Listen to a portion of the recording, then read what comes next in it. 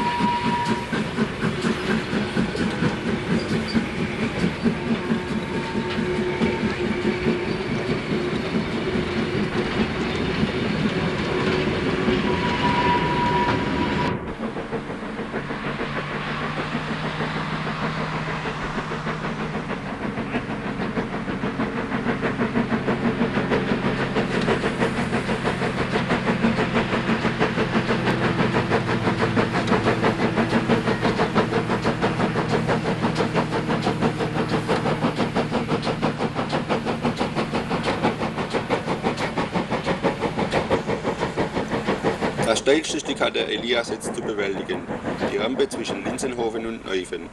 Hier geht es nur noch im Schritttempo und Blumenpflücken ist fast erlaubt.